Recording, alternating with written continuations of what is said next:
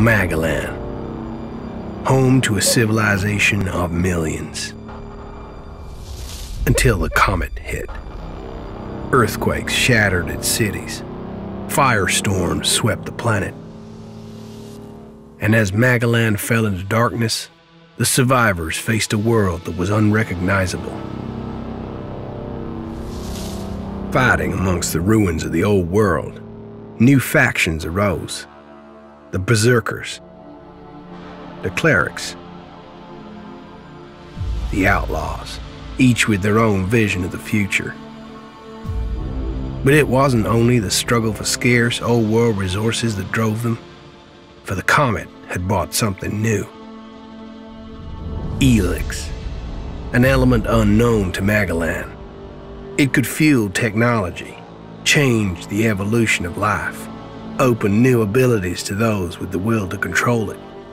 For the clerics, it drove new technological innovation. For the outlaws, drugs to free their minds. To berserkers, it gave the power of magic.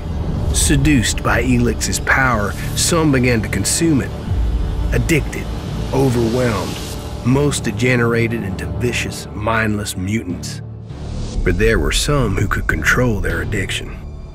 To them, at the cost of their emotions, Elex offered strength, focus, and stamina. These people called themselves the Albs.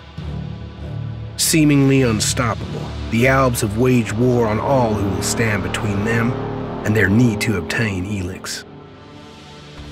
Advancing from the frozen wastes of Xacor and their fortress Ice Palace, the Albs threaten the future of all the factions on Magalan. Now, as Alb forces prepare their final assault, Jax, renowned Alb commander, is sent on a solo mission. One Alb, selected to change the fate of Magalan.